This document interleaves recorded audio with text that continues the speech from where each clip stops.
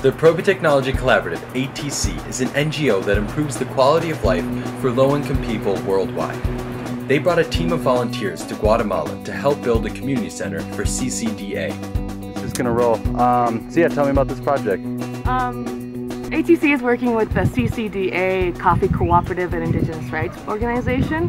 It stands for Comité Campesino del Altiplano. It's a highlands campesino movement that is working towards fair trade, organic agriculture, indigenous empowerment, and representation in government. ATC's Guatemalan volunteer team came together to install solar panels and build a fuel-efficient rocket stove for CCDA's community center.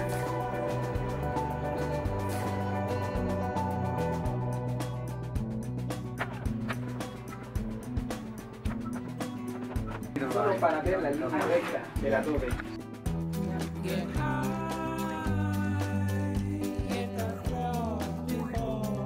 CCDA now has light and electricity in their cabins and a fuel efficient rocket stove.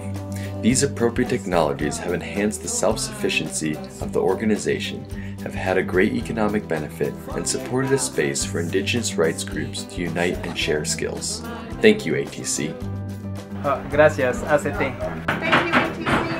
Thank you, ATC.